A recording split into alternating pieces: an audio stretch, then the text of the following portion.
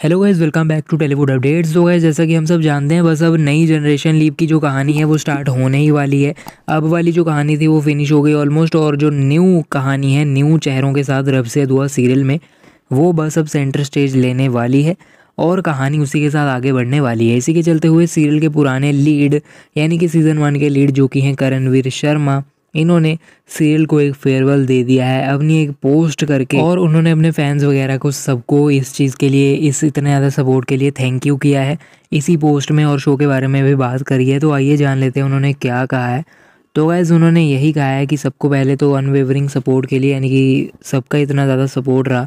हैदर के करेक्टर के लिए जो उन्होंने प्ले किया, भले वो मेकर्स हों टीम हो सीरियल की या फिर फैंस हो, हर किसी ने उनको रोज़ सुबह उठा के ये इनक्रेजमेंट दी कि वो अपने लिमिट्स पुश करें और उनका ये कहना है कि वो यही होप करते हैं कि आने वाले और भी टाइम में वो डिफरेंट और अलग अलग चैलेंजिंग एक्ट्स के साथ और ऐसे किरदारों के साथ आपको एंटरटेन करते रहेंगे।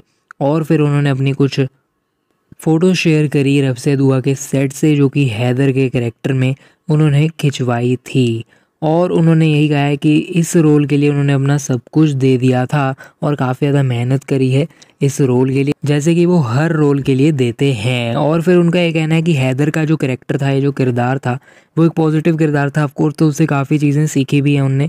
जो मेन चीज़ सीखी हैं, वो यही है कि कैसे एक अच्छा बेटा अच्छा भाई और अच्छा हस्बैंड बन सकते हैं। और कुछ और वैल्यूज़ भी उन्होंने इस करेक्टर से काफ़ी ली हैं।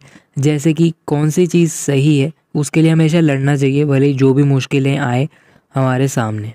तो क्या ज़रब से दुआ का एक एरा ख़त्म हो रहा है और नया एरा स्टार्ट हो रहा है कमेंट्स में बताइए, नए वाले सीज़न को भी आप देखेंगे, या फिर नहीं, उतना ही प्यार मिलेगा या फिर नहीं, और सारी अपकमिंग रब से दुआ के अपडेट्स वगैरह के लिए हमें सब्सक्राइब करके बेल नोटिफिकेशन दबा लीजिए। और अगर आपने अब तक रब से दुआ की जनरेशन लीप के बाद वाले करेक्टर डिटेल वाला वीडियो नहीं देखा डिस्क्रिप्शन में लिंक है, जाकर उस वीडियो को ज़रूर देखाइए। फ़िलहाल के वीडियो में इतना ही। मिलते हैं अगले वीडियो में। अभी के चलता हूँ। Good bye